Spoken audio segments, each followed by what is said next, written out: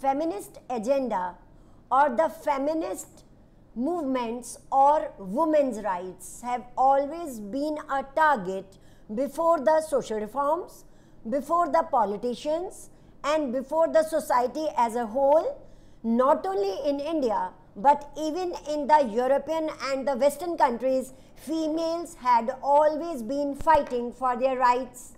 As we have seen in the revolutions of France, in the revolution of the other countries who wanted to become nation state, the feminist group was targeted separately. And uh, it is very surprising that uh, even among the educated pe people, even among the elites, the matter of women, the matter of female empowerment, female empowerment have always been a matter of discussion and a critical matter uh, among all these issues. Hello students, yes we are talking about women participation in the civil disobedience movement. It is a peculiar feature of Gandhiji's second movement, a peculiar feature, a different feature where women participated in a large number. They actively participated in the salt marches, they actively participated in the picketing, in boycotting the foreign goods, and in a large number they came with Gandhi because they considered that as women are asked to perform their sacred duty towards home, similarly they have sacred duty towards nation too or towards nation also. As they are performing their sacred duty towards their home, similarly they have sacred duty towards nation which simply means that women considered nation also as their home. So women came up, but these women were not from all the sections of the Indian society. Remember it. These women who came to support Gandhi, they were from the urban areas, uh, they were from the upper caste, upper caste people who had lots of servants at home to work so they could come out and they supported Gandhi and they come out for the boycott and uh, uh, for the salt marches etc. And from the rural areas, these women were from the land owing families that is from the families of zamindars and landlords. So the uh, women who belong to the so-called lower classes, they were not because they had lots of lots of household work to perform. Yet, all the women came up from these, two, particularly from these two sections of the society, yet do not think that a radical change came in the life of women. No. Even Gandhiji used to say uh, that be good mothers and good wives. And even Mahatma Gandhi used to say that women should look after their home and hearth. So when large number, and you know they are about 50% of the total population. So even then when women came up and they supported Gandhiji, Gandhiji however was in favor of their symbolic role. Symbolic role will be in inverted commas. Symbolic means you know that women may come up, they may uh, just click their photograph uh, is uh, there in the newspapers and all that women are with us and go back to their home and look after your home and earth. So their role, uh, role was symbolic according to Gandhi. And remember students, for a long time, women were deprived of any political empowerment, of any higher post in the Congress. Because if women have higher post in the Congress or in any other organization, they will have to leave their house for a longer time because there are meetings, there are long debates, etc. So their role was symbolic and according to Gandhi, uh, he also supported the symbolic role of women in the civil disobedience movement. So this is your 3 marks topic. Go through NCERT pages 66, 67, 68. You will get all the topics which I am going through. Next we come to the limits of the civil disobedience movement. And I told you earlier, limits means which were the groups who were not with Gandhiji during the civil disobedience movement. So one such group was the group of so-called Dalits, untouchables, because the Sanatanis, they considered them untouchables and for a long time they suffered a lot. They had no temple entry. They were not allowed to fetch water from the wells of uh, the common people, particularly the Sanatanis, the Brahmins. They considered this class Dalit as untouchable. And when Gandhiji heard of it, he said that Swaraj will not come for 100 years if untouchability is not abolished from India. And you know, uh, with the uh, call of Swaraj, this was the section of the society, the Dalits, the so-called Dalits, which were not moved at all. Because they called themselves Dalits, oppressed. On one hand, Indians were oppressing them by not allowing them to enter into different public places. And uh, obviously, when Britishers came to India, even they did not consider them anything. So Mahatma Gandhi, when he uh, took notice of it that there is a class of untouchables, and particularly they were the sweeper class. So Mahatma Gandhi with his followers went to their colonies and cleaned their toilets because the main thing that they were considered untouchables was that they cleaned the toilets of the people. So Mahatma Gandhi himself and with his followers went to their colonies of the so-called Dalits, cleaned their toilets, cleaned their colony, but Dalits were not happy because they said that this is not the way uh, to uh, bring us to the uh, equality to the other people and this uh, work we can also do. Better they demanded political empowerment, inverted commas, you will write down political empowerment. Political empowerment simply means that they should be allowed to participate in the election, political empowerment and they should be given seats in the legislative bodies so that uh, their demands could be represented in the parliament, in the legislatures. So they demanded political empowerment. However, uh, Dr. B.R. Ambedkar, who became the champion of the rights of these Dalits at that time, in 1930, he also noticed, because he was with Gandhi, you remember in the second roundtable conference also he supported separate electorate for the Dalits, but Mahatma Gandhi was against it. We will discuss it in the preceding chapter where, why Mahatma Gandhi was against it. So, communal electorate because it could alienate Dalits. As Muslims were alienated, they, it could alienate Dalits from the uh, from the Indian national movement or even from India. They would have been demanding separate state like the Muslims. So Mahatma Gandhi did not support separate electorate for them. Bhimrao Ambedkar, however, when he saw that Dalits are not happy in India, they are suffering with the untouchability and other oppressions, he organized them into Depressed Class Association, DCA, your one mark question, Depressed Class Association in 1930 and gave them a platform to discuss about their grievances. So this was the group when civil disobedience movement began, they were not with Gandhi. Now come to the point which I wanted to tell you.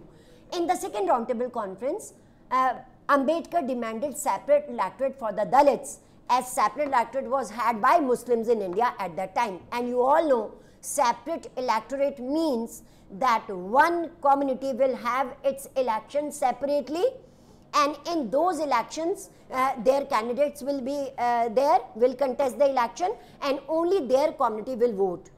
It's a danger for india and it is just falsification of indian history. Because in india it had never been because it was a part of the divide and rule policy of the britishers that separate electorate was given to the muslims. In the act of 1919 they were proposing this to others communities also but thanks to the leaders of india that they realized the situation and they did not allow it. Correct? As so when Ambedkar and Gandhi had a clash, they came back to India. Mahatma Gandhi took fast unto death. On which issue? On the issue of separate electorate to be given to the Dalits. Because Britishers, you know, they were happy. They were ready to give separate electorate to Dalits also. One more part of India is separated from the country. So Mahatma Gandhi was not happy and uh, he took fast unto death. However, after some time, Ambedkar realized Gandhiji's situation and he came to know that yes, why Mahatma Gandhi is not in favor of communal rights. So, um, after that, uh, when Ambedkar realized the situation, Mahatma Gandhi and Ambedkar, they had a, a conversation and in this conversation, it was uh, decided uh, to have uh, uh, this uh, unity uh, between the uh, people, but between the different sections of the society, not to support communal electorate for the Dalits, but to support reservation, reserved seats, as even today we have reserved seats for them. Uh, so Ambedkar and Gandhi they reached to a conclusion that instead of separate electorate, uh, reserved seats will be given to the Dalits and they will be elected in the general election, not separately do not uh, make them realize that they are separate from India. So this was a very good event uh, in India. Mahatma Gandhi and Ambedkar, uh, they reached to a conclusion and since then uh, these were uh, these were the sections of the society who were given political empowerment and it was decided that uh, they will be elected in the general election and a number of measures were adopted to provide them equality. This incident is known as the Pune Pact. Pune, again your map work, Pune, Maharashtra, Pune Pact between Gandhi and Ambedkar and in this Pune Pact, Dalits were happy and they got political empowerment and uh, uh, so when the civil disobedience movement began, Dalits were not with CDM, with the CDM, with the civil disobedience movement. Why? Because all this was going on. 1931, 1932, this was going on. These incidents were going on correct. So this is your 5 marks topic, the limits of the civil disobedience movement and how far Dalits were concerned. So they were not concerned. However, efforts of Mahatma Gandhi and efforts of Ambedkar, they brought them together and even then they are part of our society, inseparable part of our society. And when the constitution was made, in the Indian constitution, untouchability was abolished and uh, illegal. It was declared illegal today the next action which was not with Gandhiji in the civil disobedience movement was uh, the Muslims, the Muslim League. Very critical topic of 5 marks again. Muslims, they were not with Gandhiji in the civil disobedience movement. Why? We have read about the non-cooperation movement and I also told you that before launching the non-cooperation movement, Gandhiji has said that uh, he will support Khilafat have you gone through that topic and in the whole non-cooperation movement, there was no word of Khilafat. So many Muslims were hurt and they were not happy. Even then, when Simon Commission arrived in India, many Muslims came with the Congress and they opposed Simon Commission. They showed that uh, they wanted to come although they were hurt in the non-cooperation movement. However, when the processions of both the communities were taken out, the procession of Gandhiji, the procession of Muslim League, they took out their procession separately. Uh, they, there was clash between them. One person commented on the other. It's a human nature. There was a clash. There was a drift. And e, there was a riot. R-I-O-T, riot means dange. There were riots. Each riot between the two, between the uh, simply Hindus and Muslims, simply Congress and Muslim League each riot deepened the gap between the two countries and there was a deep gap between them. However, in 1927, again Muslim League and Congress came to an association. There was a conversation between them because by now Muhammad Ali Jinnah had joined the Muslim League and uh, Muslim League and Congress came to a conversation.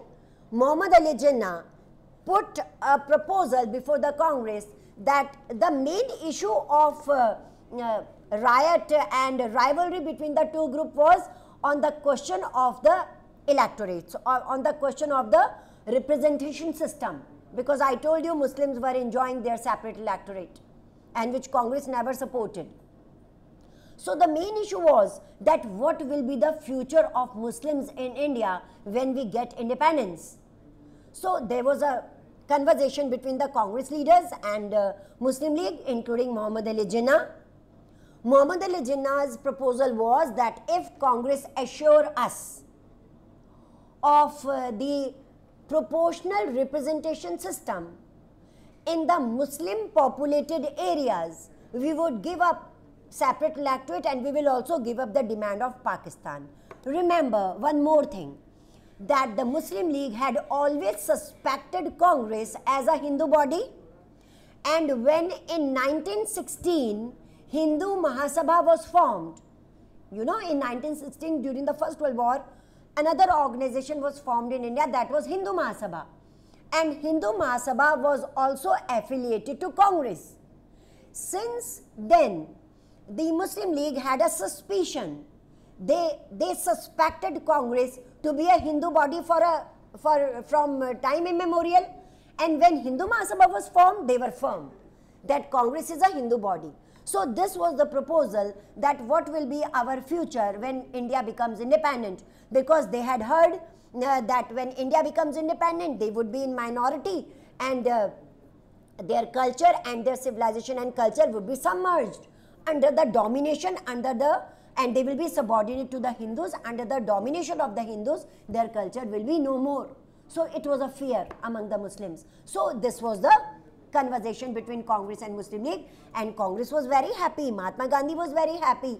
That, and the Muslim populated areas were at that time uh, Bengal, that we call East Bengal, that is Bangladesh today, some parts of Jammu and Kashmir and some parts of uh, Punjab. Only these were the main Muslim populated areas at that time and this was a small demand of the Muslim League that if Congress assure us proportional representation system in the Muslim populated areas, we will give up the demand of separate electorate and we will also give up the demand of Pakistan. We will give up the separate electorate also. Okay. 1928 year came and everybody felt very happy that perhaps the part, the suspected partition of the country would be uh, would not be there, would be stopped and there will be a compromise between Muslim League and Congress. However, uh, to put a vote on this proposal because uh, always the uh, decisions were taken through democracy, through voting. So when all these conversations were, the, were there, they were written, that Muslim League has accepted all this and the Congress want to have a compromise with them. Hindu Mahasabha was called and at that time, this is an incident of 1928, at that time the leader of Hindu Mahasabha was Mr. M.R. Jakar. Note down your one mark question.